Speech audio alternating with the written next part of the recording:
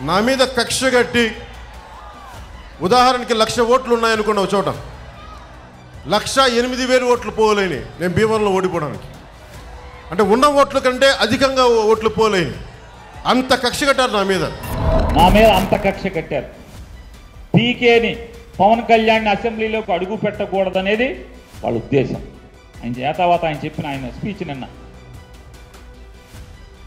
ఏంటి అంటే అసలు రెండు వేల పంతొమ్మిది ఎన్నికల్లో భీమవరంలో ఉన్నటువంటి ఓటర్ లిస్టు రెండు లక్షల నలభై ఆరు వేల మూడు వందల నలభై ఆరు నలభై రెండు ఓట్లు.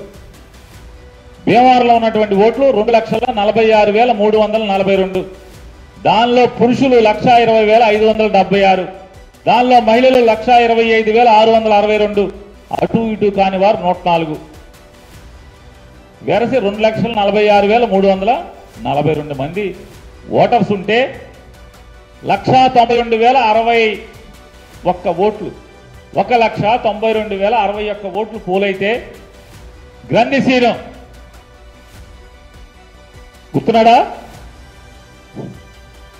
పవన్ కళ్యాణ్ గారు గ్రంథిశీనం సీను. వచ్చినటువంటి సీనుకు ఓట్లు డెబ్బై వేల ఆరు వందల నలభై రెండు. సర్వశ్రీ పవన్ కళ్యాణ్ గారికి వచ్చిన ఓట్లు అరవై రెండు వేల రెండు వందల ఎనభై ఐదు. తెలుగుదేశం పార్టీకి వచ్చిన ఓట్లు యాభై నాలుగు వేల ముప్పై ఏడు నూట పద్నాలుగు వందల తొంభై రెండు.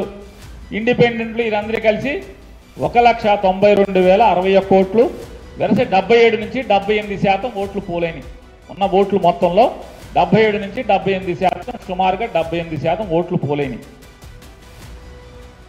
ఈ పుస్త మాటలు అబద్ధాలు తను జాకీ పెట్టి లేపుకుంటాకి తను గాలి కొట్టుకుంటాకి తను ఈరుడు సూర్యుడు అని చెప్పుకుంటాకి పాపం అమాయకులైన పిల్లలతో ఇళ్ళయించుకుంటాకి తప్పుడు మాటలు. తప్పుడు మాటలు కదయ్యి. ఇంకో గమ్మత్ అక్కడ. పవన్ కళ్యాణ్ గారికి అరవై రెండు వేల రెండు వందల ఎనభై ఐదు ఓట్లు పడితే అదే పార్లమెంట్లో పోటీ చేసినటువంటి నాగబాబు ఆ పార్టీ జనరల్ సెక్రటరీగా ఉన్నాడు. ఆయనకు వచ్చిన ఓట్లు యాభై వేల అరవై ఏడు ఓట్లు. పవన్ కళ్యాణ్ గారికి వచ్చిన ఓట్లు కూడా ఆయనకి వేయలేదు లాలా ఇవన్నీ అండర్లైన్ చేసుకోండి.